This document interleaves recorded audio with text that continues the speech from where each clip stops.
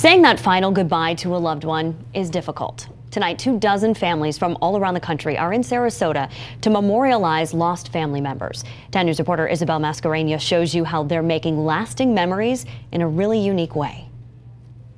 Eternal reef balls of cement used to preserve marine life give life to the memory of loved ones who've passed. You love the South and the water, so this is our way to say goodbye, sweetheart.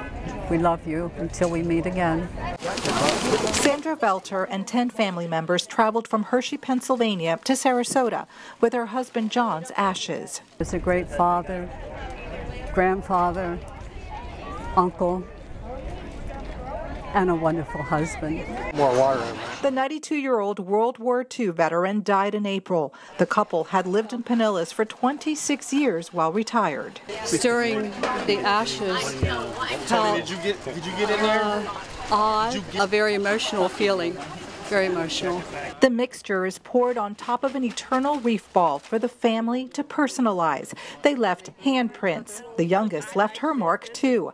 There's the wrapper to John's favorite candy, a plaque with his name, and a special photo of the couple. And John and I were avid dancers. We never took lessons, but we were good together. 47 years spent together. Sandra said in the end, all he asked was to be cremated. The rest was up to her. What do you think he's saying right now? You go, girl. and thank you. And I love you all. That's what he's saying. In Sarasota, Isabel Mascareñas, 10 News.